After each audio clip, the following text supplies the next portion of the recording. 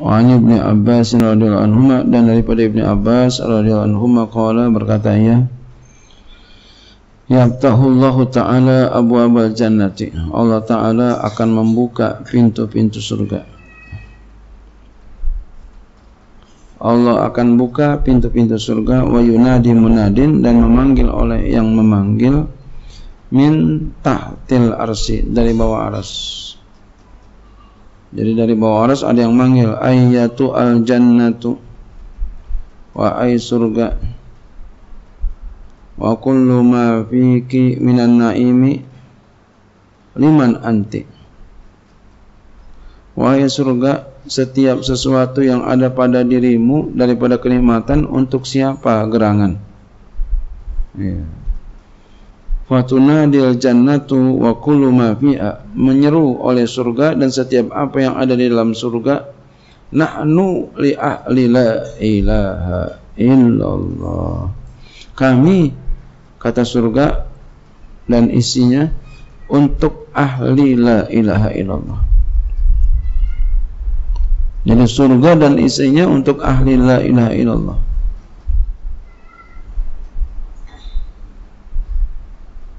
bukan hanya berkata doang, tapi juga amaliyahnya. La ilaha illallah. Sikapnya juga la ilaha illallah. Hatinya la ilaha illallah. Wala natlubu illa ahla la ilaha illallah. Kami tidak menuntut kecuali ahli la ilaha illallah. Wala yadkhulu alaina illa ahlu la ilaha illallah tidak masuk kepada kami kecuali yang masuk ahli la ilaha illallah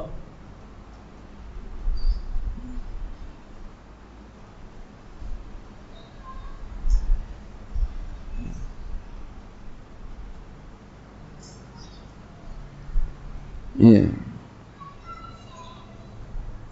Wa nahnu muhramuna ala man lam yakul la ilaha illallah. Kami diharamkan eh, dicegah atas orang yang tidak mengatakan la ilaha illallah. Wa inda hadza dan ketiga ini takul berkata an-naru neraka juga ngomong. Tadi yang ngomong surga dan isinya neraka juga ngomong. Wa kullu ma fi minal azabi. Dan setiap apa yang di dalam neraka daripada siksaan ngomong tuh jadi nerakanya ngomong, perangkat-perangkat siksaannya juga ngomong. Seperti surga tadi. Apa katanya? La yadkhuluni illa man ankara la ilaha illallah. Tidak masuk ke dalamku kata neraka kecuali orang yang mengingkari la ilaha illallah. Jadi orang yang mengingkari la ilaha illallah masuk neraka. La ilaha illallah. Wala atlubu illa man kadzaba bila ilaha illallah. Dan aku tidak menuntut kecuali orang yang mendustakan la ilaha illallah. Wa anna haramun ala man qala la ilaha illallah kata neraka. Aku haram atas orang yang berkata la ilaha illallah. Wala amtali'u illa biman ja'ada la ilaha illallah. Tidak penuh aku kecuali dengan penuhnya itu dengan orang yang mengingkari la ilaha illallah walaysa ghaizi wa zafiri illa ala man ankara la ilaha illallah. Dan tidaklah murkaku hembusan nafasku kecuali atas orang yang mengingkari la ilaha illallah. Summa qala kemudian dia berkata lagi fataji'u rah fataji'u rahmatullahi wa maghfiratuhu. Maka akan datang rahmat Allah dan ampunan Allah. Fatakulu maka berkata iya ya ana li ahli la ilaha illallah. Aku untuk ahli la ilaha illallah.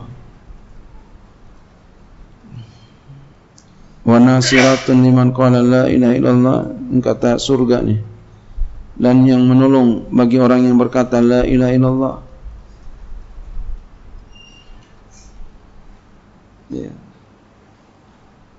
Wa muhibbatun liman qala la ilaha illallah dan aku mencintai bagi orang yang mengatakan la ilaha illallah. Wal jannatu mubahatun liman qala la ilaha illallah. Surga itu mubah. Boleh bagi orang yang berkata la ilaha illallah. Muhrimatun ala man qala la ilaha illallah surga itu menghormati atas orang yang berkata la ilaha illallah. Wal maghfiratu min kulli dhanbin li ahli la ilaha illallah wal maghfiratu ampunan min kulli dhanbin dari setiap dosa li ahli la ilaha illallah untuk ahli la ilaha illallah. Yang betapa hebatnya orang yang selalu zikir la ilaha illallah dan sikapnya juga perbuatannya la ilaha illallah. Akan dapat ini semua nih. Wa rahmatu wal maghfiratu ghairu ma'jubatin an ahli la ilaha illallah. Rahmat Allah ampunan Allah tidak terhijab daripada ahli la ilaha illallah. Jadi ahli la ilaha illallah akan dapati rahmat dan ampunan Allah. Waruya dan telah diriwayatkan anan nabi bahwa nabi sallallahu alaihi wasallam. Karena yamsi adalah beliau pernah berjalan fitruki di jalan-jalan wa dan beliau berkata kulu katakanlah la ilaha illallah tuflihu Katakanlah la ilaha illallah niscaya kamu sukses. Jadi rajin-rajin kita zikir la ilaha illallah. Wallahu a'lam.